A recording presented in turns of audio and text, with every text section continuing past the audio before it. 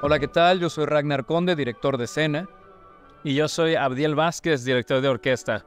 Y queremos platicarles un poco sobre este proyecto de las bodas de Fígaro que se va a presentar este fin de semana aquí en Mazatlán en el Teatro Ángela Peralta.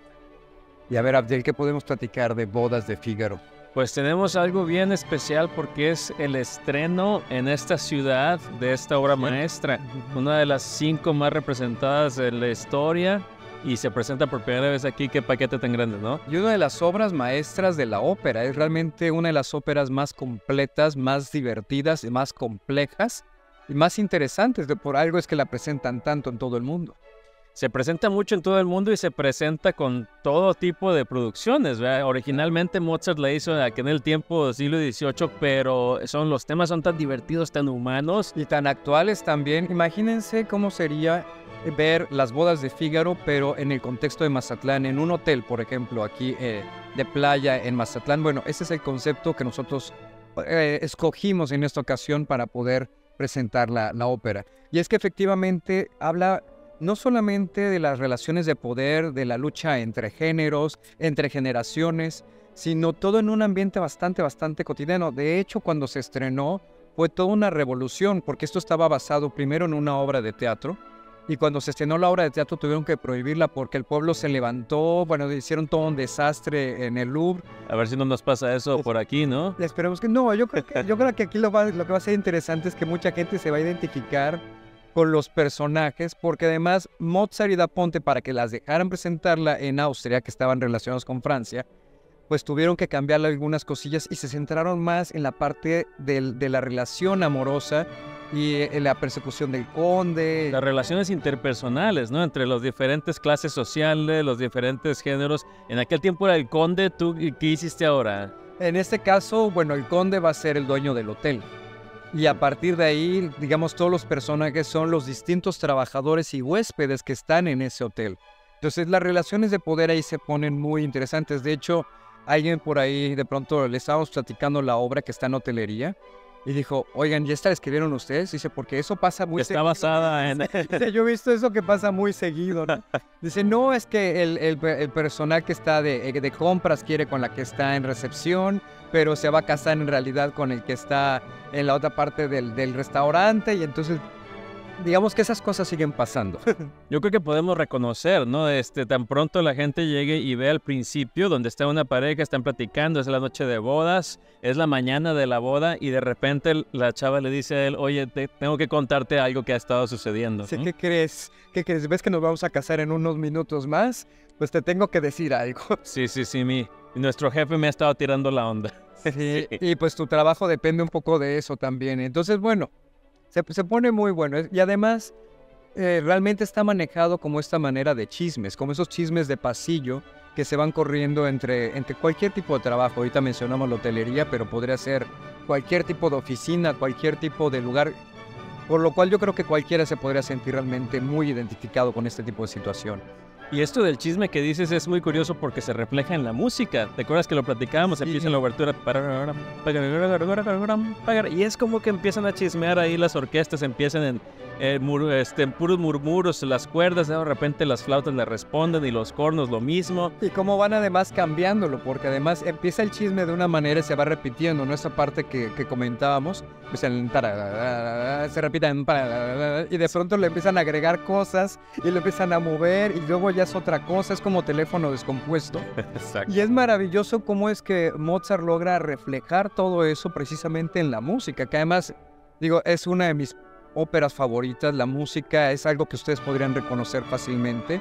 Desde que se abra, más bien, no, bueno, sí, desde que se abre el telón, van a decir, esta pieza yo la he escuchado muchísimas, muchísimas veces, precisamente porque pues es una de las músicas más,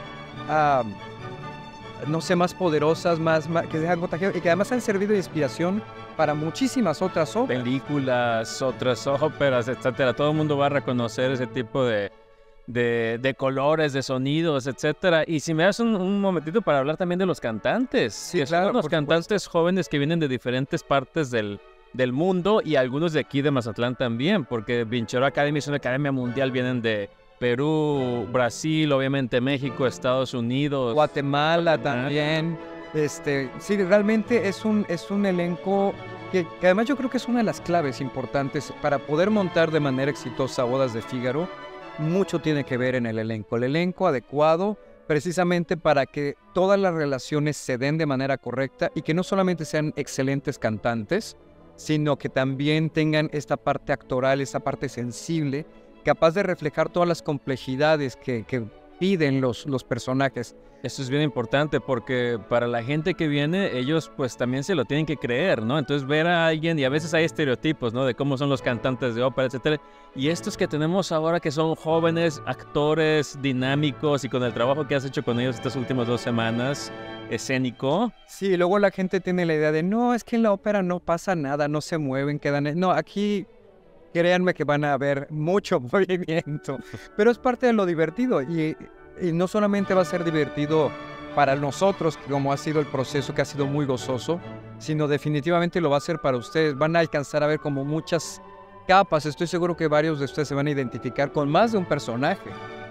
Es que cada uno, la ópera nos va presentando, habla, habla de amor, ¿no?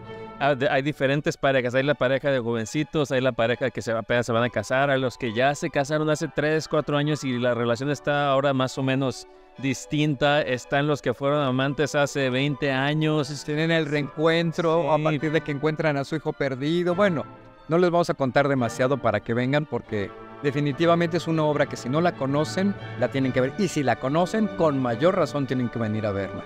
Eso es importante porque mucha gente se siente a veces intimidada, ¿no? De que nunca he escuchado esto. Yo la primera vez que vi Bodas de Fígaro estaba atacado de la risa, primero y segundo acto. Dije, ¿cómo es, cómo es esto posible? ¿Cómo es que me había perdido yo de esto toda mi vida, no? Sí, sí, sí, definitivamente. Es, yo creo que es, eh, venir a la ópera se vuelve una experiencia, además, sobre todo siendo la primera ópera que uno va a ver y de, montado de esta manera se vuelve realmente un regalo, porque te quedas enamorado de la complejidad que alcanzas a percibir, de lo dinámico que puede ser, de lo divertido, de lo ágil, pero también de los diversos niveles de profundidad a los que se puede llegar. A veces pensamos de que la ópera solamente escuchar las voces lindas, pero no, se puede también reflexionar mucho a partir de lo que se puede presentar en el escenario en una ópera. Y con la música maravillosa, pues, ¿qué más? ¿Qué más? Pues, ¿y qué escenario tenemos, no? El Teatro Ángela Peralta, que es una maravilla.